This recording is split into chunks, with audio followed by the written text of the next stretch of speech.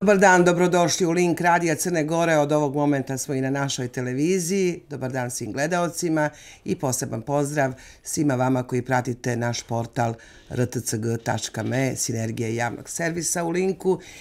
I neću ništa novo reći, nažalost, i danas, ni danas, naša djeca ne idu u školu, osim usamljenih slučajeva gdje su školski odbori i uprave ipak odlučile da cijelo vrijeme štrajka rade. Nikakva namjera nam nije da stanemo ni na jednu ni na drugu stranu, ali na stranu naše djece smo i kako obavezni da stanemo. Moje ime je Gorica Vukićević, a danas u linku psihološkinja, uvažena, veoma poznata, ne samo kod nas, nego i u regionu, gospođa Radmila Stupar-Đurišić donosi nam radost, uvijek je nasmijena i nadamo se da ćemo dobiti odgovore od nje upravo na ovo pitanje kako mi našoj djeci da objasnimo da se nismo dogovorili mi stariji i kako da povratimo njihovo povjerenje. Čini mi se da je to ključ problema, dozvolit ću sebi to da kažem, ali nisam ga sama odredila, nego zaista mnogo ovih dana razgovaram i sa roditeljima, i sa profesorima, i sa djecom. Prvo, dobar dan i dobro nam došli. Hvala za taj osmijeh. Hvala na pozivu. Ili to taj optimizam koji moramo da, da, da. gajimo Pa da trebalo vi, da trebalo vi. Znate, postoje samo ljudi koji se opredele da žive danas za budućnost ili ovi drugih koji danas žive za neku prošlost ili u nekoj prošlosti. Ja sam neko ko je opredeljen da danas živi da bi sutra bilo bolje. A ako ja ne budem, pa kad ja prestanem da verujem da će sutra biti bolje, verovatno onda neće ni imati osmeh. Da vjerujemo da će biti bolje. A ja verujem da Molim vas, e, da li sam, eto, možda dijelimično ili, ili negdje približila ovaj problem iz ugla djece, dakle kako mi njima da objasnimo, molim vas, da se mi nismo dogovorili i da ne možemo da se dogovorimo. Ili da smo se sad mi dogovorili, pa smo im javili u 23 uveče da je sve u redu, pa će se jutra i tako da, da ne ponavljamo ono što svi pričamo ovih dana. Ni na čijoj strani nismo osim na strani naše djece. Tako je. Ali znate kako, posle, po, jako je važno razumeti koncept najbolji interes djeteta i to šta radimo za našu djecu. Mi smo u zadnjih nekoliko godina naš odnos prema djeci napravili tako da, da mi njih moramo da zaštitimo, tako što ćemo da ih informišemo o svemu i tako što će oni sve da to nešto razumeju i prihvate. Recimo, to je malo, malo greška, zato što dete je malo i ne može da razume procese odraslih. Jer upravo je sad ovaj problem, da bi dete razumelo proces procesa odraslih, to treba da mu objasnimo. Ne možete da objasnite da se odrasli ne slažu, jer on bi trebalo da veruje da odrasli mogu, znaju i umeju. E, to je ono što smo mi sada njima pokazali, da odrasli ne znaju i ne umeju, I to je tragedija naše prosvete, zato su profesori necenjeni. Zašto mi imamo problem sa prosvjetom? Zašto naša djeca neće da uče? Zašto naša djeca ne vide uh, snagu, kvaliteta u znanju? Pa evo vidite, ne pokazuju ga o tome mi toliko pričamo godinama, da jako veliki broj nastavnika, kada stane za svoju katedru ili sjedne, ne oduševi dete sa znanjem, sa sposobnostima, sa kompetencijama, ne zaseni sav haos napolju sa briljantnošću svoga profesorskog uma.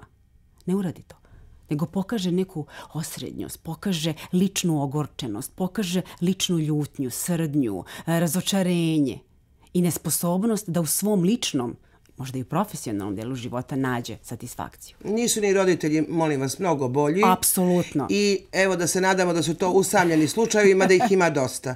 Molim Dovoljno vas, nisu je, ni roditelji. Idemo s druge strane. Tako Hvala je. na pitanju. Idemo na roditelje. Da li su danas roditelji osobe koje su dobro promislile sa kim prave dijete?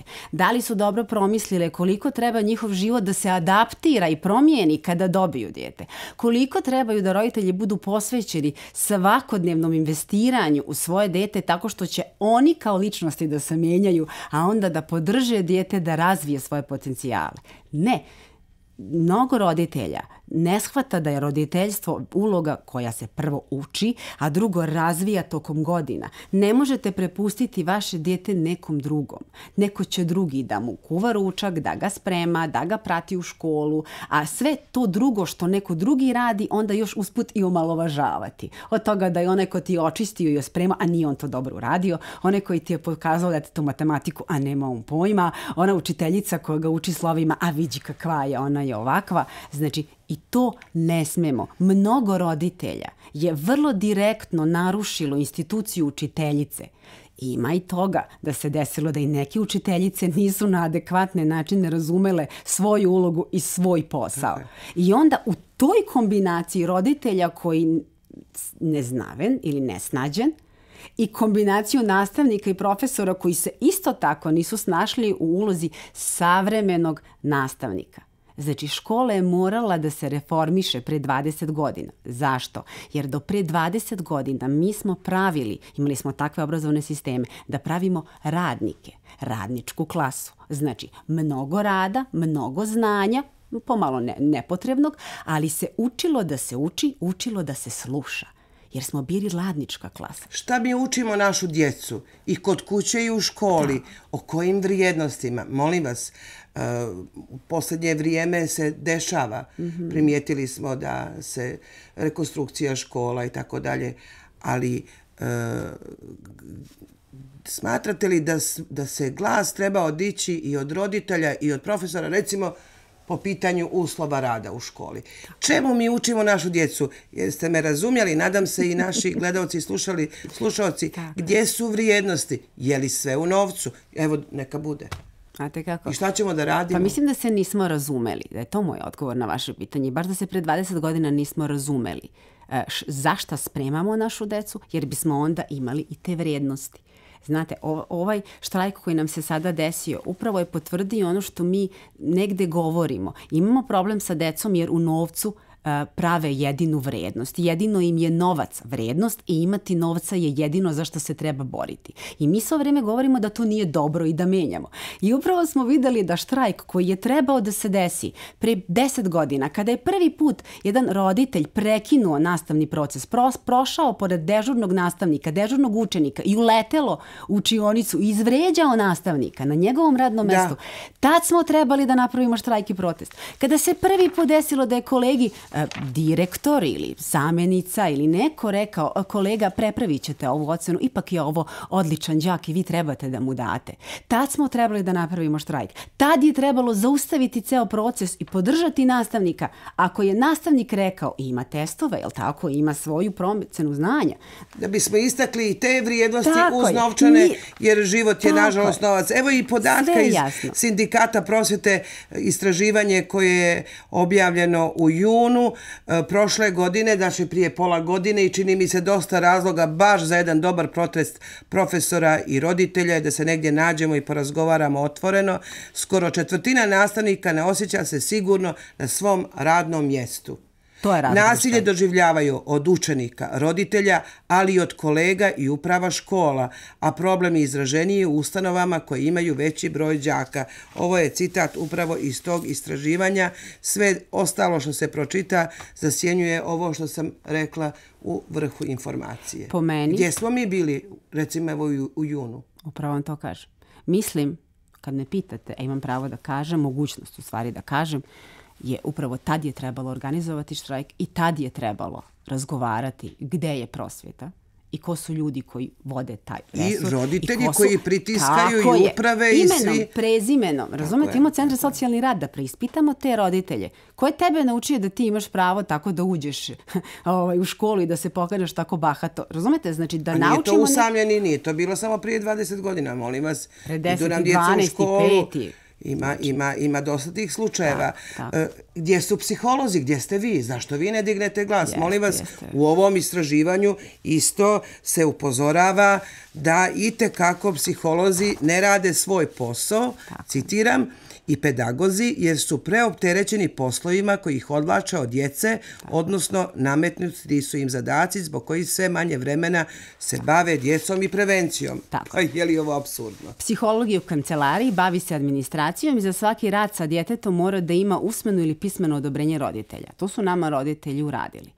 Znači, određen broj roditelja se pobunio ko je taj psiholog koji će tu da uh, razgovara sa mojim detetom, neću ja da dozvolim. Ja sam psiholog moga detetu. Recimo, da nije to bilo puno roditelja, ali je bilo dovoljno njih da naprave takve pro protokole i takav način rada, da vi danas u školi zaista ne možete da razgovarate sa djetetom, ne smete da mu priđete dok nemate dozvolu roditelja i njegovu saradnju. I pazite sad, kako ćemo mi da pomognemo djetetu da promeni ponašanje ili uvid situaciju, ako roditelj ne vidi nikakav problem u takvom ponašanju, čak misli da treba biti agresivan, da treba tako, kada ti se nešto ne sviđa, ti to tako otvoreno reci, bori se za svoje prava i slobodno povisite, onda bi te ljudi shvatili ozbiljno. Znaš, ti imaš pravo da se boriš za svoje... Jeste škole, nepotrebna, bespotrebna... Molim vas, zašto vi psiholozi, obrazovani učeni ljudi koji nam pomažete, niste digli glas. Da, tačno. Molim pa vas, zašto niste tako, digli glas? Tako. Vi jeste na svoj način jer ste napustili naš sistem i radite u međunarodnom sistemu. Jesu li tamo stege? U školi u kojoj radite. Znate kako, svugde imate stege, ali se Koje odvažite vrste? i borite se. Jer uvek Dobro. imate uh, roditelje Jeste li u kancelariji, kompjuterom? Ja nisam, ja, nisam. ja radim u open space, znači to je otvoren prostor gde deca e, komotno prilaze psihologu, ali to je koncept minje psihološki je bio pre 20 godina, da, baš mi vaša televizija se. jeste dala tu mogućnost da objasnim da je psiholog prijatelj djece. Dečiji psiholog nije klinički psiholog, nije neko ko živi u, i radi u ambulanti, nego je dečiji psiholog, razvojni psiholog, je neko ko je prijatelj i drugar dece koji je sa njima na podu, na igralištu. On im daje psihologiju kao um, snagu i mogućnost da budu bolji, da bolje pamte, bolje razumeju, bolje promišljaju i imaju odličnu komunikaciju. Psihologija je mnogo jača nauka u smislu konkretnih rješenja za povećanje i poboljšanje kognitivnih sposobnosti, gde je komunikacija jedna od njih, od toga šta može da da u kliničkom svetu. Ali dobro, da ne bavimo se klinikom, a da u školama su nam se i klinike pojavile. Zašto? Zato što nemamo nekako jedan otklon od, od neadekvatnih obrazaca ponašanja, jer vi ako neko i patogeno ponašanje ili kliničko ponašanje, ili da bude najniži stepen, neadekvatno, na vrtičkom uzrastu, ne promijenite. Znači, ne uključite ga u psihoterapijski proces. On će do, do momenta puberteta mnogo se ukomplikovati i usložniti. I onda kada dobijete još hormone kao, kao deo na ne, neadekvatno i neprilagođeno ponašanje, vi imate problem u učionici koji nastavnici i profesori ne mogu da reše. Razumete? A moglo je biti sanirano i promenjeno na uzrastu od 5, 6, 7 i 8 godina kada se videlo da smo zaustavili roditelja, da smo roditelji objasnili da ovo nisu adekvatna ponašanja, da smo roditelje... Da li primećuju to psiholozi? Imaju li vremena pedagozi u našim školama? Da. Ja moram priznati, moja su djeca već odavno i pred kraj studija, ali se zaista u, u najljepšem sjećanju jedne divne psihološkinje iz njihove škole Sjutjeska tadašnje, koja nas je zvala roditelje da nas upozna, da porazgovara, da ukaže na dobre i pozitivne. Ne znam sad stvarno ograđujem se kako je danas, ali iz razgovora ljudi pred početak emisije juče i prekuće razumjela sam da se psiholozi malo pominju u toj kombinatorici veze između djece i profesora. Imam dosta primjera i ja vas molim još jednu rečenicu da nam kažete. Da li treba i zakonski, kako god, da i psiholozi poboljšaju svoje mjesto, jer smatrate da treba da imaju bolje mjesto u našem obrazovnom Tako sistemu, odnosno moje... značajnije da ih poznajemo. Možda je jedan malo u nekoj velikoj školi, možda nam je to kadar koji nedostaje. Kadar koji Ali nedostaje možemo li da se organizujemo nekako? Gde ima volje, ima i načina. Ja mislim da mi trebamo da imamo volju. Ja mislim da mi trebamo da imamo, imamo divnu recimo školu, uh, to su set radionica za prevenciju nasilja. Uh, koleginica koju ste pomenuli zove se Radmila iz Sutjeske, jeste. Divna. Ja, znači, tako divna. je. I imamo divnu koleginicu koja više nije sa nama. Ona je radila program, jedan baš protiv prevencije uh, nasilja i mi smo to sprovodili te godine ili dve godine ili tri. I posle toga to više niko nije radio. Uh, ja bih mogla da predložim našem ministarstvu prosvete da se svaki psiholog u školi izjasni zašto ne radite radionice. Jer ja ne znam zašto ne rade. Ja na vaše pitanje nemam odgovor. Jer mi nije jasno. Jer ga ja radim imamo poslije situaciju, evo odmah direktan Tako. primjer, zvala me jedna baka i ja moram da ga prenesem, izvinit ću se za jednu riječ, ali nemam zamjenu, dakle radi se o četvrtom osnovne. Mm -hmm. dječak je poveo djevojčicu u toalet i tražio je da imaju odnose. Ja se izvinjam. Dakle, ovo je istina. I o svemu tome se priča na času uh, roditeljskom, gdje prisustuju i djece i roditelji. Optužuje se jedna strana. Dakle, čovjek čije je dijete. Razumijete? Koji trpi, sigurni smo, to vi bolje znate, i sramotu i pritisak svih ostalih roditelja. Ali pokreće priču učiteljica, molim vas, učiteljica. I gospodin koji, kojeg targetiraju jer je razveden i podiže djecu, sam kaže da moraju da pitaju drugu stranu, a to je on. Znate? Mm -hmm. I ono što je on saopštio da ga je neko, njegovog sina, neko stariji, primorao da odradi to, da pita, nije se ništa desilo i tako dalje. Dakle, prvo, sve te pobude starijih pritisaka, nasilje, ali molim vas i ovo da učiteljica pokreće otvoreno tu priču, da li je to dozvoljeno? Naravno da nije. Da li bi treba... Tu su djeca, o tome se priča, molim vas. I djeca koja, pota... koja su već obilježene, je li tako? Tako je. Tako. I roditelji koji igraju, koji niko nije rekao, molim vas da ovu priču zaustavimo. O čemu mi pričamo? Upravo, o, baš, Evo neka je ovo samo jedan primjer. Dovoljno je. Za Dovoljno je, minulih deset godina. Taj Molim jedan, vas. taj jedan prosvetni radnik, razumete, koji je to uradio. I taj jedan psiholog u toj Koga školi... štiti koji da nije, tako ponaša. Tako je, koga, koji nije odradio svoj deo posla. Razumete? E, oni su ti koji trebaju biti pozvani na odgovornost, odnosno moraju naučiti drugačije. To su ljudi koji ne znaju da rade. I takvi ljudi koji ne znaju da rade, a u sistemu su su stvari najopasniji ljudi. Jer vi kada ne ali znate... Ali kakva je šteta učinjena, morate da ogromna priznate. šteta, ali mi ništa od priznavanja šteta nemamo. Nisam psiholog, 20 jesam roditelj, ali, vi to bolje znate. Ali mi 20 godina živimo na štetu. I stalno je veća šteta. Nama treba konačno da izađemo iz štete. Mi smo upravo svedočili da su ljudi koji trebaju da brinu o deci našoj ušli u štrajk neorganizovano. Znači, neko hoće, neko neće. Pa oni znači, između sebe se ne dogovaraju. Pa kako ćemo mi da povratimo povjerenje? Šta da kažemo djece kojih učimo da Evo kolektivno, da, da se druže, da se vole, tako. a idu na jedan čas, na drugi ne idu i tako da. Naravno, treba da se bore za status naši dragi prosvjetni radnici koji su stubi, temelj ovog društva. Ja mislim da ali imali načina. Jeste, ja mislim, ja ne bih volila da iko shvati milo kakvu kritiku. Ne, neka su se pobunili, kamo sreće da su to radili još pre deset godina. Znači, nije ovdje taj... Samo nekako, model. Tako je, bravo. Znači, ono što psihologija pokušava da, da kaže ovih dana i ja kao neko ko je to sam glasnogovornik trenutno sticajem okolnosti, ovaj, je u tome da mislimo da je komunikacija zaštekala i zaribala. Komunikacije, veštine komunikacije da. nisu se pokazale na adekvatan način. A baš je to ono što i govorimo već deset godina da treba u obrazovnom procesu promeniti. Došlo je do promjene. Mi više ne pravimo radničku klasu da sluša i, i, i e, slepo ispunjava obaveze. Razumete? To je nekada bilo i škola vas je za to pripremala. Imate lekciju, to naučite, nabuvate i to pokažete ko je sposoban da sve zapamti od A do Š, dobija 5, ko onako pomalo dobija 3, 4, 2. Taj sistem je prevaziđen jer nama više ne trebaju radnici koji će imati pritisni ovo dugme, pritisni ovo dugme, pritisni ovo dugme, pritisni ovo dugme.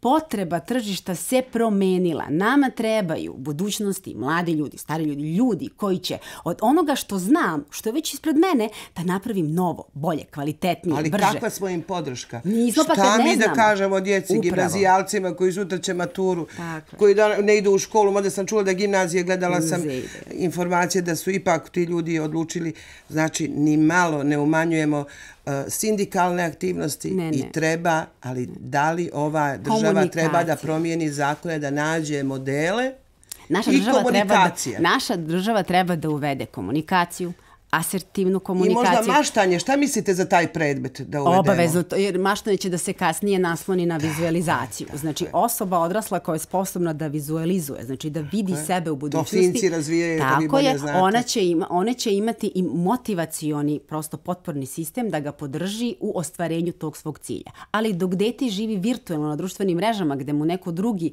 daje tako gotove je. neke tako proizvode, je. on onda mašta i vizualizuje neke gotove proizvode koji su uglavnom nerealni i onda njihovi motivacijone potpore nisu dovoljno dobre Tako. da dobije ono što mu treba. Znači, grešimo puno.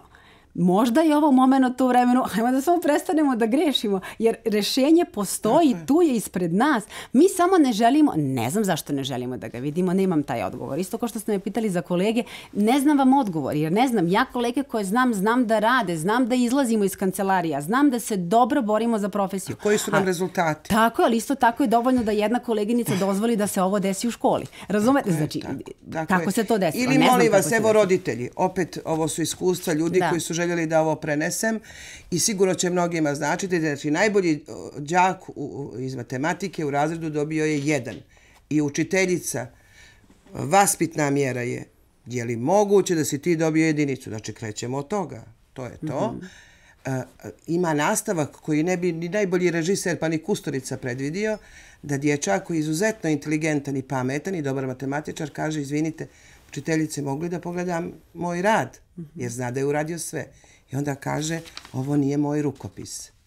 Dakle, rodi, od roditelja je taj drugi dječak koji je utvrđeno da je potpisao njegovo ime umjesto svoja, njegov uništio jeli, kontroli, mm. znači idemo na ve, mnogo veći problem. Gdje su roditelji? Koga su, oni su morali da nauče to dijete, da napravi neku malverzaciju. I svaka čast ovim roditeljima koji su naučili svoje dijete da ima stav i da brani ono što Jeli Ili bar da ima slobodu da, da podigne A gdje je učiteljica, molim vas, gdje je učiteljica? Ali čuti razred, čute roditelji i šta smo dobili? Šta nam daje lažna solidarnost? Okay. Evo ovaj slučaj, molim vas. Izvišće uglova, ali evo Tako. vaš komentar. Tako. Šta biste kazali? Znate kako? Uh, stvari... Imamo još tri minuta, nažalost. Ali... Da, tako je. Uh, treba biti vrlo praktičan. Kada počnemo da svako iz svog ugla zaista brani profesiju svoju i da je radi na najbolji mogući način za dobrobit toga deteta, onda ćemo i mi smoći snage da podignemo ruku i da kažemo Radmila ne radi dobro. Zorica nije dobro postupila. Da. Milica mora na doedukaciju. Ovaj mora da to ovo nauči. Ovaj mora. Moramo u okviru svako, u okviru ja psihologije, vinovinarstva, neko drugi ne, da prepoznamo ljude koji ne da nisu dobri, nisu to loši ljudi. Oni samo nemaju veštine i znanja koje su neophodna za sadašnje doba. I baš ovo što se desilo sada prosvetarima, mi to zovemo nije dobro odrađen krizni PR. Znači, ljudi da. su ušli u prosvetu, postoji stručni termin, niste dobro odradili krizni PR. Vi, koji ste iz obrazovanja, moralo je drugačije da se komunicira sa roditeljima, da se komunicira sa djecom, da se komunicira sa ministarstvom, da se komunicira sa kolegama. I istina. Ja se da slavete? su to uradili. Istina. Jer mi ne možemo objasniti deci zašto oni koji bi trebalo da znaju krizni PR to nisu uradili. Pa ja ne mogu da objasnim detetu zašto medicinska sestra koja bi trebala da potrefi venu nije potrefila venu. Zašto psiholog koji bi trebao da poznaje đake svoje škole ne poznaje đake svoje škole. A molim vas, ja pošto je pred kraj, zašto jedan vrsni profesor fizike koji je pro, pronašao jednog od vodećih naučnika danas u svijetu, Mladog Rašovića, koji je bio moj mm -hmm. gost ovdje u linku. Zašto protiv njega pišu peticiju pro, ili mhm. nje, nećemo da. imenovati, e, zato što uh, forsira djecu da rade Zamislite fiziku, da... imaju dodatne časove koje niko ne plaća. Zato što, mi? zato što se njene kolege... I su naša djeca u stvari najbolja. Da, tako je. Tako je. Mi sve najbolje znamo i mi znamo mnogo bolje fiziku nego nastavnica fizike. E, to se Posledno. desilo zato što njene kolege nisu isto sele i tad tog momenta stale iza nje zašto taj kolektiv tog momenta, profesoricu koja je toliko dugo radila i toliko mnogo zna, nisu stali i napravili jednu tužbu protiv tih roditelja koji ne razumeju da je djetetu mesto u školi da uči, da vježba i da radi, a ne da dolazi u školu na popeticu koju ste mu vi već odlučili da će onda ima, jer mislim, vi znate vaše dijete, on je genije i sad mi smo samo tu da. u službi da te ocene samo napišemo, formalizujemo u brojku. Hoćemo li zajedničku poruku našim gledalcima i slušalcima da je istina ono što naj više povezuje i da moramo da radimo svi mora zajedno. Mora da se uči, mora da se radi, moramo da se uvezujemo i da se učimo komunikaciji, jer budućnost je samo se osmehuje onima koji će znati da dobro iskomuniciraju svoje želje i potrebe i koji će razumeti da ti nisi centar sveta, nego da smo svi zajedno i treba da bude dobro velikoj većini, a ne samo tebe. Hvala puno, hvala vama za pažnju. Moje ime Gorica Vukićević. Naravno, svako dobro želimo našoj gošći. Hvala vam. Prijatno. Svako Prijatno. dobro. Hvala vam puno.